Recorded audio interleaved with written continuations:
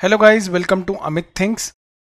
In this video we will see how we can install the current VS Code version on Windows 11.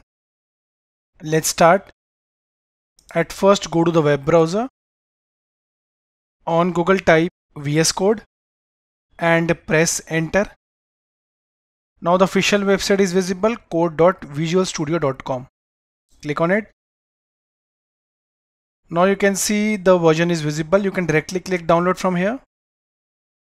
And here are the versions for Windows Linux as well as Mac.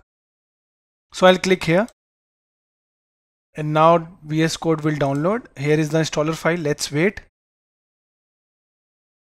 Now right click and click open to begin the installation. Minimize. Accept the agreement. Click next it will take 373 MB click next. Click next it will also create a start menu folder. If you want to create a desktop icon you can click here but I won't create it. So click next. Now click install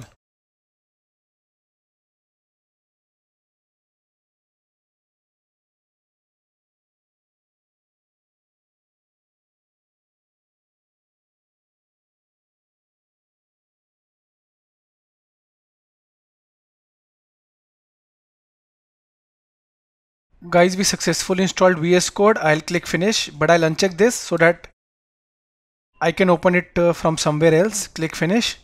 So guys we successfully installed VS Code. If you want to open it go to start now type VS Code and click open. So guys here it is. If you want a free VS Code tutorial then refer the link in the description of this video. Thank you